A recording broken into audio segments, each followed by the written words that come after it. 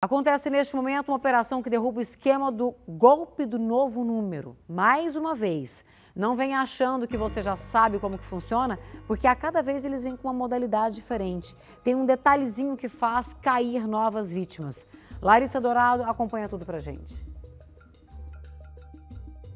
Exato, viu, Manuela? E a última vítima desse caso, a gente está acompanhando essa operação, foi em Santa Catarina. Por isso que nós vamos conversar com o delegado Leonardo Silva, que é o responsável pela Diretoria Estadual de Investigações Criminais de Santa Catarina, está aqui em Goiânia hoje, é, dirigindo, né, liderando essa operação, que é a sexta fase dessa operação, para poder chegar até os alvos, os responsáveis por aplicar esses golpes, incluindo essa última vítima que teve pelo menos um prejuízo de 10 mil reais. Bom dia para o senhor delegado, obrigado por atender a nossa equipe. Conta para gente como é que você vocês souberam né, dessa vítima que foi ali lesada em 10 mil reais e como que eles agiram com ela?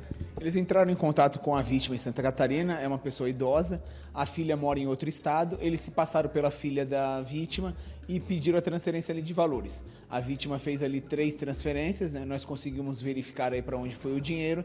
Posteriormente, nós descobrimos que os autores intelectuais responsáveis pelo golpe eram aqui de Goiânia representamos aí pelos mandados de busca e apreensão e cumprimos aí nessa data de hoje. Certo. Aqui é, em Goiás estão sendo cumpridos em quais cidades?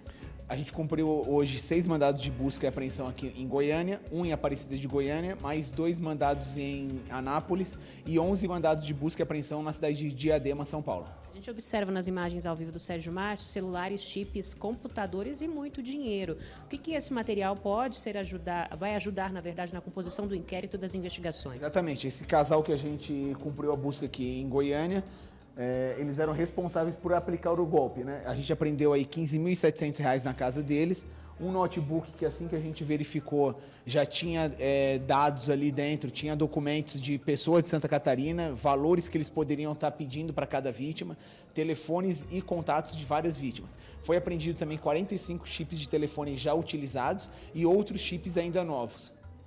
E essa quadrilha não age desde é, de pouco tempo com essa vítima, né? Já tem outras fases, como o senhor bem disse, é a sexta fase. Como é que vocês começaram a receber essas denúncias? Exatamente. A gente já fez duas fases aqui em Goiânia, no ano de 2022. Também já cumprimos buscas no estado é, em Natal, Mato Grosso e São Paulo.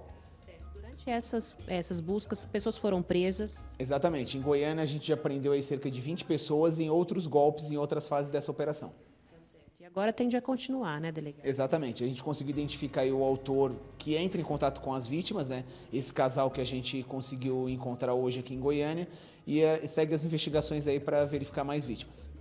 Obrigada, delegado Leonardo. Vamos conversar com o delegado Fernando Gama aqui de Goiânia, né, da DEFRA, que vai trazer mais informações, porque Goiânia, os agentes da Polícia Civil também prestaram esse apoio para o cumprimento desses mandados de, de busca e apreensão em Goiânia, Anápolis e Aparecida. Bom dia para o senhor também, obrigado por atender a nossa equipe. Importância né, desse trabalho em conjunto né, para poder realizar essas buscas e apreensões. Muito importante, né? A gente tem que ressaltar que tem que ter essa interação entre as forças policiais, né? Polícia Civil de Santa Catarina com a Polícia Civil do Estado de Goiás. A gente sabe que esses crimes eles, eles são trans, né, ultrapassam as fronteiras dos, dos estados, né? Então é muito importante essa interação e a gente vai continuar trabalhando junto, né, para coibir essa atividade criminosa. Ótimo, então muito obrigado, delegado. Então a gente traz a informação dessa operação que acontece hoje, não só aqui em Goiás, mas também simultaneamente em São Paulo, para poder chegar até esses alvos que cometem esses crimes do, do novo número, né? E a gente sempre observa, né, que às vezes tem alguma semelhança ou outra entre as vítimas e as pessoas precisam ficar atentas, né, Manuela? Volto com você.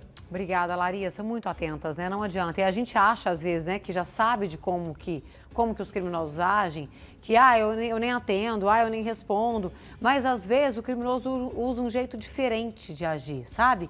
Às vezes ele faz de alguma maneira que ele vai conseguir fazer uma nova vítima. Então, por isso, a gente sempre traz aqui essa prestação de serviço para deixar você, que é cidadão de bem, atento.